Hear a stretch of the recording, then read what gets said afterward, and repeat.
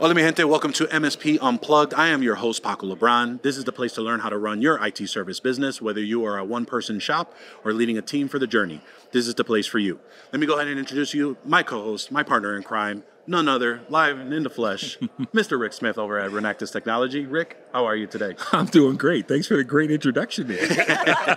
I'm in my flow as we are live at Pax8 Beyond over in the beautiful Gaylord Convention Center. But I am surprised to say that this is the first time that we have had our guest today, and we have none other than the global channel chief over at SonicWall, Michelle Ragusa McBain. Michelle, how are you today? Oh, I'm so excited to be a part for this inaugural journey with you. Uh, you know, and as I would, we've known each other for years. Yes. And it's crazy to think that I have yet to have had you on the podcast. So I wanted to correct that issue. Thank as you. I'm happy to be here. Awesome. But before we go into uh, Michelle's journey and talk a little bit about what she's go- going on at SonicWall, wanted to highlight our two sponsors for this episode. Our first sponsor is SuperOps. SuperOps is the AI-powered PSA and RMM platform designed for fast-growing MSPs. They provide a lean and powerful way to engage with clients and grow your revenue. Head over to the link in our show notes to sign up for your trial today. We also have Huntress. Huntress allows you to deploy and manage detection and response for endpoints and identities in minutes, powered by custom built technology for SMBs and the expert analysts in their 24 7 security operations center. Head over to huntress.com slash unplugged for your trial today. All right, we're going to go ahead and get this show on the road and talk a little bit about what's going on with Miss Michelle. Michelle, how are you today? I am doing great. It is a fabulous start to Pax8 Beyond, and you can feel the energy. Awesome, awesome. And so Michelle, being with SonicWall, who was one of our grateful sponsors over at TechCon Unplugged, which we'll go into it later in this episode, and appreciate the support as always, with our good friend over at Solutions Granted on the what is the division now called for Solutions Granted at SonicWall? Managed Security Services with my friend Michael Crean. Michael Crean, who has been a great friend of ours and supporter over the years, have now joined forces with SonicWall, and SonicWall has been gracious enough to uh, lend him again for our great summit uh, that's happening in September. But more about that May later. crash on. that party. I think you should. I think You should. should. It will be in DC. Um, but you know, Michelle, obviously you are a well, not for those that are listening, but for me knowing you, you are a uh, channel veteran. You have been in the space for quite some time. For those that don't know who you are, can you tell us a little bit about yourself and how you kind of got into the tech space? Sure. Well, I've been in the technology channel for 20 years now, which is pretty remarkable to think about because it's like time flies when you're having fun. That's a true statement. But I didn't know anybody who knew anybody who worked in tech growing up. My family immigrated to America. I'm the first in my family to go to college, the first to get an MBA, the first to work in tech. So I'm really happy to be here for two decades. Um, and it's been a lot of mentorship that in the community. We live in a family. Like this is really the channel has been my family. I spent a lot of time on the road. I have two daughters two stepdaughters a husband who did the opening keynote. So we are a tech family which means our kids will probably join the circus. Um, but i love what i do. I love that um, i've been a part of being able to change the way the world lives works plays, learns, and now keeps people safe in cybersecurity. So we have been uh, really excited to be a part of that journey. I spent about 14 years in two stints with Cisco. I worked at Office Depot during the CompuCom acquisition. I consulted with thousands of MSPs during COVID as well, during the JS group, and now I'm with SonicWall, and I love it. It's a fantastic company with a great culture, 100% channel and partner first. Awesome. Now, you know, our community has heard of SonicWall. Many are partners of SonicWall. And so, you know, with you kind of coming in as the, the channel chief in the beginning, now global channel chief, I wanted to hear a little bit more about kind of how what you are striving and how you are bringing community first over at SonicWall, and just talk a little bit about what is SonicWall's commitment to the MSP community. Although it is a brand name that everyone knows, what are some of the initiatives that it's trying to do for the MSP space? No, absolutely. It's a great question. So, a few things. One, we call it outside in. And all that means is that we are out listening to our partners. We are educating them about how we're taking good to great. Um, we have really reimagined the company. We've been around for 33 years in the cybersecurity space, most beloved for our firewalls, best in class products with a low TCO. But it's cyber threats are increasing, and it's not one product that keeps our partners or customers safe. They need multiple layers of security. So we have a lot of technology that we're innovating. We have a new head of product in Chandra Prasad, who at RSA talked about our brand new tech roadmap, our single pane of glass dashboard to mul- manage all those multi tenants. Um, in addition to that, we made two acquisitions. One was Solutions Granted for MDR XDR SOC as a service, the other with Banyan Security for um, Zero Trust ZTNA. And so there is two very important things. So besides our switches and firewalls and access points, we also wanted to have the complete portfolio products. What we build, who we partner with, including Rewst, including Liongard, all our partner ecosystem friends out there, as well as who we're um, acquiring. And so we are very intentional about cultural fit. We are channel first. Michael has been a, a SonicWall partner for 18 years and run his MSP now for 22 years. So to have him understand our company, our culture, this was a commitment to each other, just like to our channel partners out there. We are we would be nothing without our partners. And so it's very important that we lean into that. I also relaunched our Secure First program in February, which I'm very excited about. And we did a lot of things there based upon feedback from our partners. So we took the MSP program that we had and we built it into Secure First. So if you are buying through recurring revenue or buying our switch or firewall access point, you're going to earn tier levels with us, which is very exciting. We also lowered our rebate threshold, so more partners can earn rebates to reinvest back into their business with us. And in addition to that, we started accruing market development funds. Why is that important? Because we want to help our partners grow. So we are going to co-brand, co-market, co-innovate together, like we're doing at your event. And so we want to make sure that we're leaning in there. In addition to that, we know if you're not a SonicWall partner or you used to be, we want to bring you back. So we're doing tier match plus one. Whoever you work with, insert partner and name here. If you're a gold partner with them, a silver partner with them, we'll take you at that level and bump you up a level. So if you're a gold XYZ, you'll be platinum SonicWall partner for 180 days. We're going to invest in you because your success is mutually beneficial. So how do we help you hit the ground running? And that's really great. You know, and I was, and I want to get Rick's uh, um, opinion here and, and, comments. You know, to, to quote your husband this morning, uh, Jay McBain. You know, we were talking about in the previous episode how just the current landscape of technology and just this thing called the channel and the MSP space.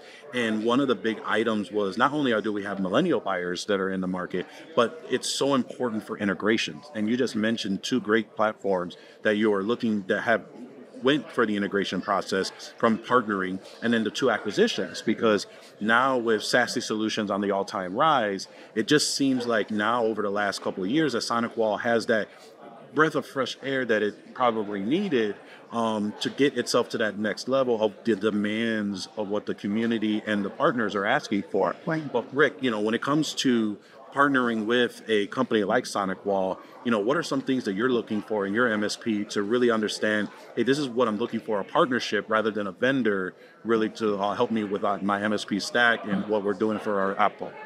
Well, I will, I will full disclosure, I am and have been a partner of Solutions Granted.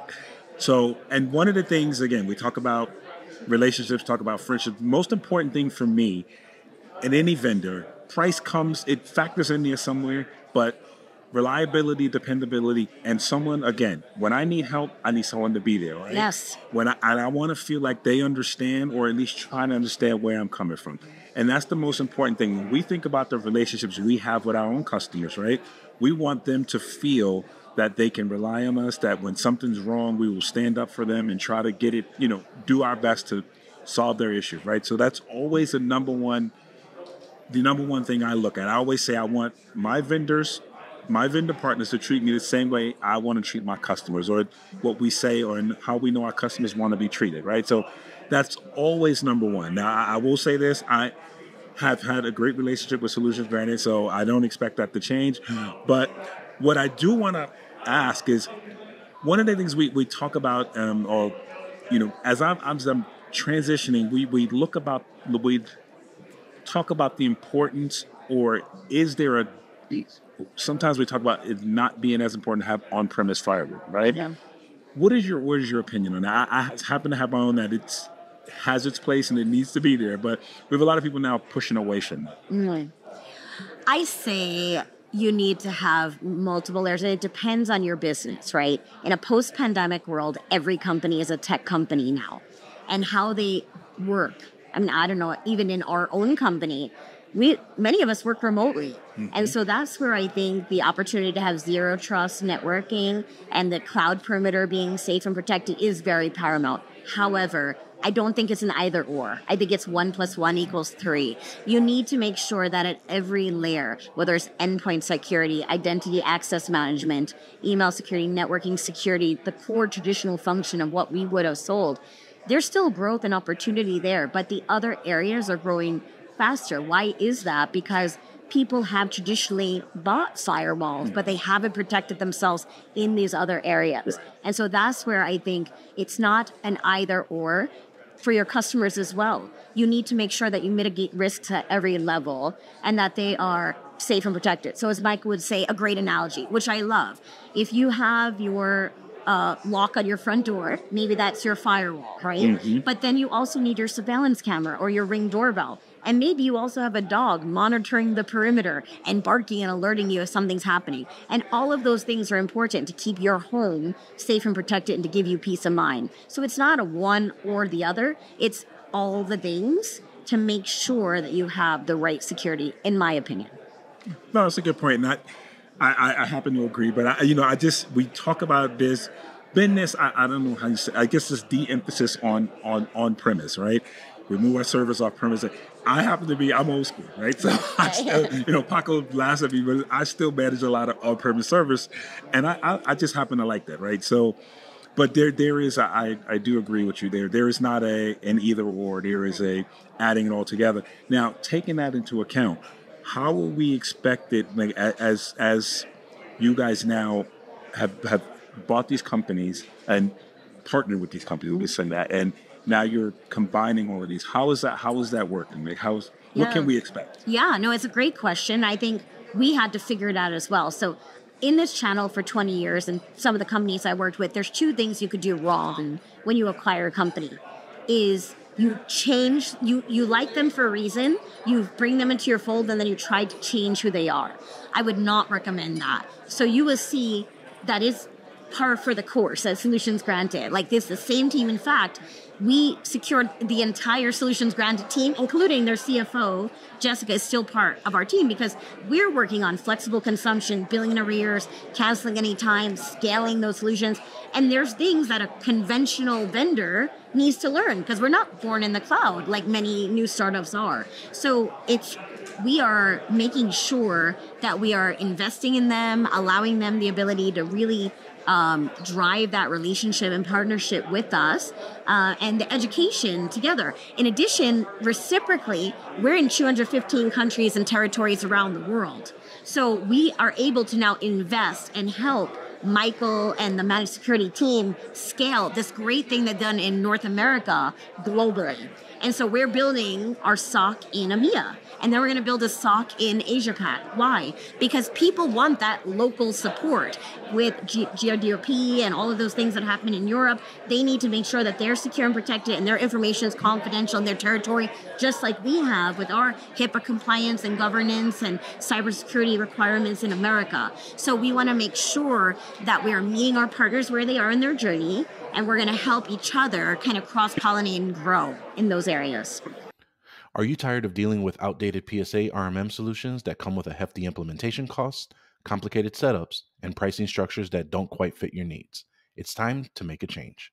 Meet SuperOps, a future ready PSA RMM platform that streamlines IT operations, enhances customer support, ensures security, and boosts client satisfaction. With SuperOps, you get a PSA, RMM, IT documentation, network monitoring, and project management all in one place. Automation of repetitive tasks, enhanced productivity, and reduced errors. You get actionable insights with proactive monitoring to prevent issues. And one of my favorite things, dedicated support from a team committed to your success. SuperOps also offers transparent pricing, putting you in control of your cost. So, what are you waiting for? Try SuperOps today for free and evaluate your MSP operations. Over the last seven years, my MSP has partnered with Huntress as our go to security platform, detect suspicious endpoint activity, and uncover hidden adversaries. If you've heard recently on several tech news outlets and subject matter experts, they're all saying the same thing. You have to have an EDR. That's why we've partnered with Huntress. I cannot tell you how many times we've onboarded a client through the agent on and all the fun that we found for us to clean up. It's no wonder why Huntress has been awarded one of the leading security solutions by G2. You'll hear comments like peace of mind or Huntress, the company that has your back. It's all thanks to their experts in their 24 7 SOC. It's the needed second set of eyes that we need. Not to mention, you receive detailed incident reports packed with expert insights written for all skill levels. To find out more, head over to huntress.com slash unplugged for a trial so you can deploy in minutes with zero user disruption. Tell them that we here at MSP Unplugged sent you.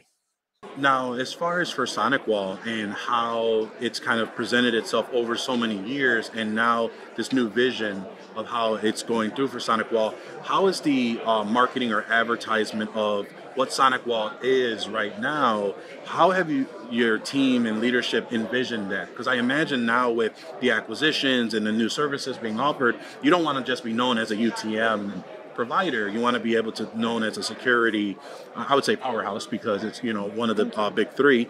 And and how have you, or at least the vision that you've seen to bring that to market so MSPs who see SonicWall just don't think UTM? Yeah, I mean, I think it's uh, you tell them, you tell them again, you tell them again, right? and I, I, mean that because there's always an opportunity to educate. I still, when I joined SonicWall, people would ask me, "Are you still owned by Dell?" And I was like, "Wow, that was eight years ago yeah. that we were released from Dell and our private equity back, but people still didn't know that." Yeah. And SonicWall historically was not although beloved, like very partner driven, yeah. was not on the road. But you'll see the difference with Michael and myself yeah. being community first evangelists. We are always on the road. I mean, last week we're at IT Nation Secure, we are Robin Robins, we're here at Pax8 Beyond.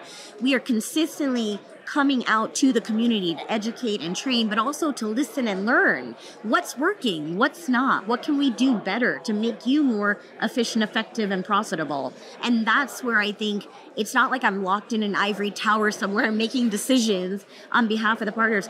We're, we're literally building our program and our technology roadmap and our people staffing and coverage and support with our partners having a seat at the table and driving that conversation. We also have a partner advisory council and a tech advisory council in North America, in Europe, and in Asia so that we can take in that feed and in LATAM. Okay. So we're making sure um, that we're investing in the right leadership, the right learnings, and the right changes, including customer support. Like we're leveraging AI and data analytics, and we're trying to um, course correct in areas maybe where there was an opportunity to do better. We don't skirt away from those things. We're hearing the feedback, we're reading the Reddits, we're coming to the hotel lobby bar to hear what's working and what's not, and now we're going to take action. And that's a great feeling because it's not just the listening, it's making a tangible reaction to what we've learned to help our partners. And I love that because you have seen SonicWall on these road shows, even from the last couple years, really getting in front. Once you've joined their team, really just on that power pounding on uh, partner first, community first, really trying to drive not only the ability of moving forward as a partner, but also as a community and ecosystem. It's to a point where now you have either longtime partners who have been using SonicWall for years, or someone who may be intimidated to use SonicWall and not understand some of those things. Not only do you have resources, but now with the again acquisitions of like Sonic uh, Solutions Granted, you now have someone who is experienced over 18 years with a great team to say the do's and don'ts and how to do and leverage their uh, SonicWall services to really now bring that all in house. There's no more guesswork anymore. There's no more trying to flail and figure it out. You have the ability to do so, and I, I commend you all for doing that as well. Thank you. Um, you know, kind of as we kind of round this out this episode, I know we had such a short time here, but a lot of information on really what SonicWall is trying to do. You know, what would you say something that we may not have discussed that if an MSP is either looking to just really stay relevant and get ahead of the curve and they're looking at SonicWall, whether it's to come back or as a new, what would you say to those who are looking to try and improve their services outside of everything that you've listed as great value? what really is brings it home and really to you that why you are at SonicWall and what it's bringing to the MSP partners that have joined you so far? Yeah, it's a great question. And the reason that I joined SonicWall very simply is this I had a partner, and she said to me, That's what it. You care so much about partners, but maybe some of the places you work don't have the same sentiment. But SonicWall cares about partners, but they need someone like you to be like, I'll say their their evangelist. and I think if you came together, you could do great things. And I just want you to meet the team. Just meet the team and tell me what you think. And I was not looking to to join SonicWall. I've always valued and respected them. They've been an industry legend for 33 years uh, in this space. But when I talked to Jason Carter, the CRO, who's been there 17 years, started out running inside sales, running the install team, worked his way up as their chief revenue officer. Bob VanKirk, their CEO, was their CMO, was their CRO, and now their CEO, has been there many years. And then this combination of people do, like Oscar, who's running LATAM and is our neighbor in South Florida. Um, there's Spencer Starkey, who's running EMEA, new to the company.